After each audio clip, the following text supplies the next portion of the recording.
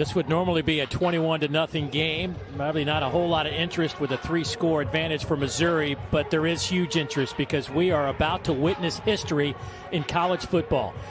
Vanderbilt Commodores coming back onto the field. They will kick off to start the second half, and Sarah Fuller will kick off for Vanderbilt to become the very first woman to compete in the Southeastern Conference in a football game and a Power Five football game. And there she is, wearing number 32, her soccer jersey number, and just six days ago was winning an SEC soccer tournament championship in Orange Beach, Alabama.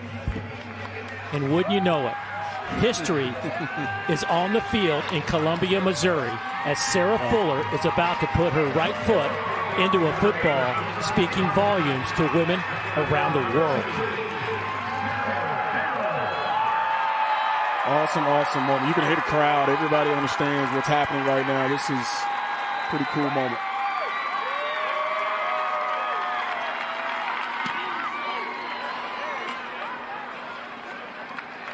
And the kick down at the 35 yard line, and Sarah Fuller. Happy Thanksgiving.